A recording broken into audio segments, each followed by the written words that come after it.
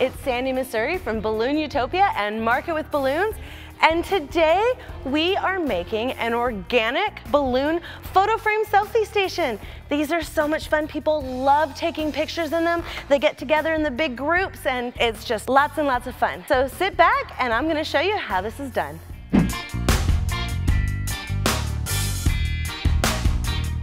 So you may see here that I have balloons of all different sizes here. Um, and that's kind of the whole thing with organic. That is both the challenge and opportunity when it comes to, to organic.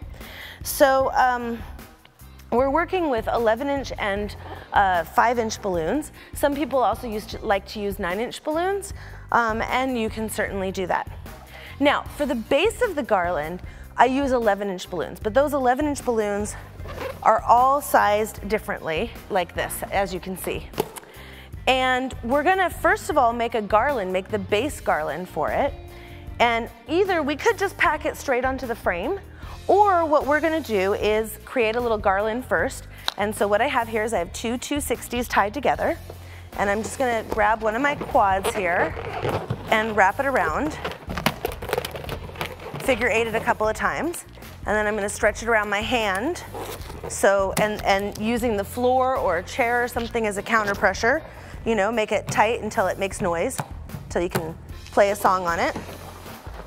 And like I said, for the base garland, we want to keep the balloons like from the same size family just because it's going to be easier to wrap them together. And then we're going to, later on, we're going to take and we're going to put all the little balloons into it. Okay, so we're just going to put one quad on top of the other. And in case you don't remember, to make a quad, you take a duplet, which is two, two balloons tied together, and you twist it, and there is your quad. Okay, so I'm just gonna take a couple of quads, and you see all we're doing is we're just putting them together, and then that's going to create our garland. See? Just like that. So we went ahead and we uh, pre-did some garland. And um, in that way, we can just put it onto the frame and it goes a lot faster when we're on site. It also makes it easier to transport rather than trying to come in with bags and bags of uh, chaotic balloons. Now, these little ones, these ones we will bring in a bag um, because we're going to be adding these in at the end. And we'll be using some of these as quads of 5 inchers and some of them just for effect we will be matching with the 11 inchers and making odd really odd size quads. Um, and some, some of them we may tie in just even as duplets. So that's, uh, we'll get to that later. But first I made, uh, we, we recorded a little video of inflating the balloons to different sizes. We use um, what I call a bucket. The important point is that you're using an inflator that is not automatically sizing the balloons. Because in this case, you know, get your five-year-old, tell your five-year-old, hey, you inflate the balloons and I'm gonna tie it because it can be really challenging to not make the balloons all the same size. So this is actually a place where those non-balloon people who are like, hey, can I help you? You're like, yes, you blow up the balloons. So uh, anyways, here's the little video. We'll show you real quick.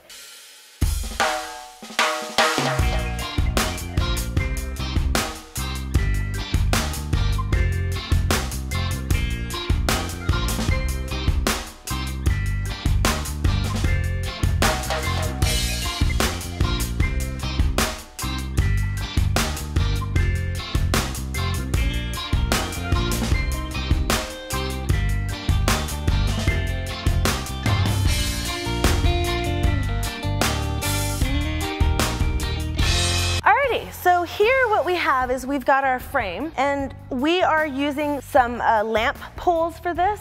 If you are doing this outside, I absolutely do not recommend using the lamp poles. You want to make a solid frame that's using at least a 2 by 2 base plate and pole. So go check out my video on how to make a balloon column frame and do it that way. But since we're indoors and we're just doing it for the video, we are just using the lamp poles. And so what we have here is we have six sections. And then we've got a piece of PVC. They come in 10 foot lengths. I've just had it cut in half to make a top and bottom that are five feet each. Down here we've got a T connector and up here we have an elbow connector. I'm using half inch EMT because these poles are so thin, but if you are making your own column frames, according to my video, then you're gonna wanna use three quarter inch PVC because you'll be put, placing it over a half inch um, rod, a half inch pole. So um, just keep that in mind that it makes a difference what size your pole is, whether you're gonna wanna use the half inch PVC or the three quarter inch PVC. I cannot stress enough how important it is to like really, really, really tape it down. I mean like, like go nuts with it, okay? All right, so here we go. We've got, we've got our garlands and we probably strung these together a little bit long, but that's okay. And so all we're gonna do is just kind of put these on. So we already strung them together and now all we've gotta do is just kind of like, just push it down onto the frame and secure it in place. So I know there's a lot of mess here, so maybe you're not seeing what I'm doing so much, but I'm just literally pushing it down onto the frame and then I'll take some 260 pieces and tie it in there or I'll rotate the balloons around each other to lock the pole in place.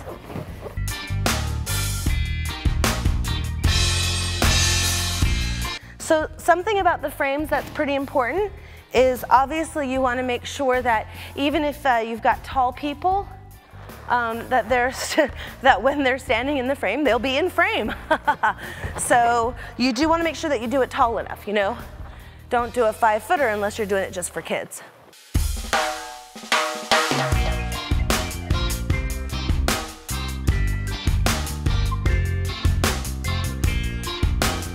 So now we've got top and bottom. Now I personally like kind of monochromatic color schemes best. Um, or, or at most a dual scheme. Here we're going with kind of the corals and the reds and the nudes, the, the peaches. Um, I've seen it where wildly different colors were put together and looked great. It's really to taste, as you can imagine. And let's get this guy. there, so I was just twisting a couple of those quads on the top around each other so that it would lock it in. And now let's continue going up the side.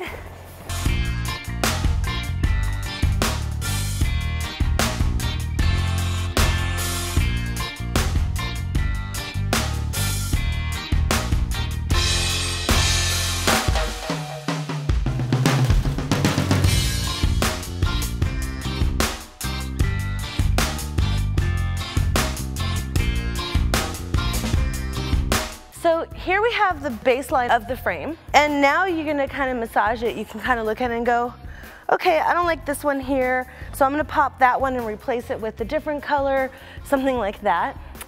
Um, and then in a minute, I'm gonna show you how we're gonna embellish it with the five inchers. But just for a moment, I wanna take a second and let's talk about the origin of this organic texture. The trend started with a piece that was done by the house that Lars built, and that's what made, it become really big. Um, there's another company called Geronimo Balloons who's been doing these gorgeous art installations, you know, crawling up a building. And then actually the term organic was coined by a woman named Raquel Porter, who owns Balloon Splendor out of Seattle, Washington. And so she called it organic because it kind of came up from the DIY crowd rather than, you know, coming out from the balloon professionals.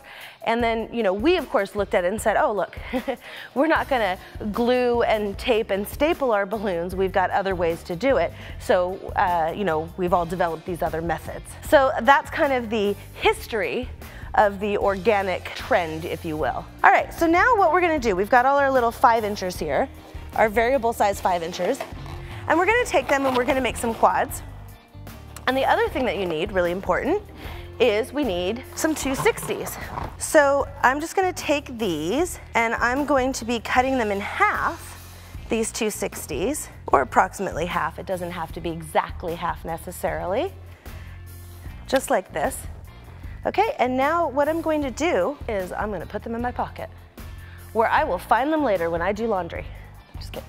Okay, so all we're gonna do is we're gonna take our half 260 and we're gonna take one of the nozzles of our little odd size quad and we're gonna tie it.